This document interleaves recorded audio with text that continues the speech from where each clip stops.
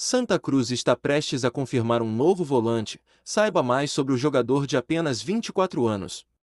Mas, antes de começarmos, inscreva-se no canal e deixe o like. Vamos à notícia agora.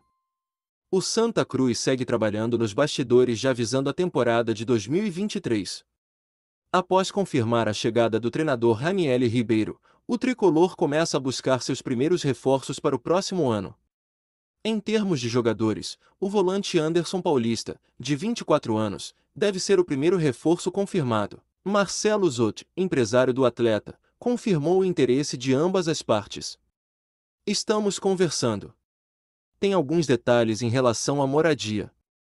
O jogador tem interesse nesse mercado, muito pela família, por isso devem fechar, disse o empresário. Anderson Paulista, que atualmente defende o Ferroviário, deve fechar contrato com o Santa Cruz até o fim da Série D do Campeonato Brasileiro de 2023.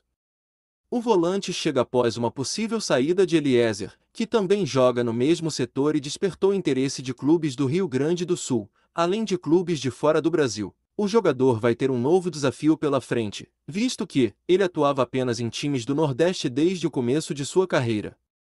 O jogador foi revelado pelo Campo Grande. O volante atuou por diversos times do futebol cearense, como Calcaia, Guarani de Sobral, Icasa e Ferroviário, além de uma passagem em 2022 pelo Afogados da Inhazeira, onde atuou pelo Campeonato Pernambucano e também na Série D do Campeonato Brasileiro. Então, o que você acha de Anderson?